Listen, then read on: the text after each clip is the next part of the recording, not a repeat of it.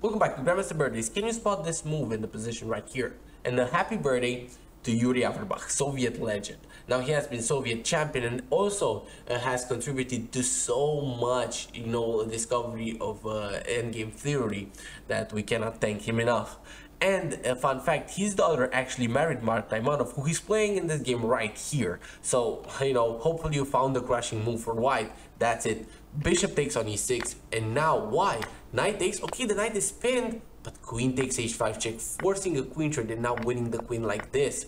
And white is up two pawns. And uh, Averbakh is just gonna find a really, really nice and easy conversion right here. Up three pawns, kicks away the knight, and you know, just just comes in with, with, with, with, his knights and he's just gonna he's gonna deliver a checkmate here really soon and um, yeah a beautiful game happy birthday to him and uh, I'll see you tomorrow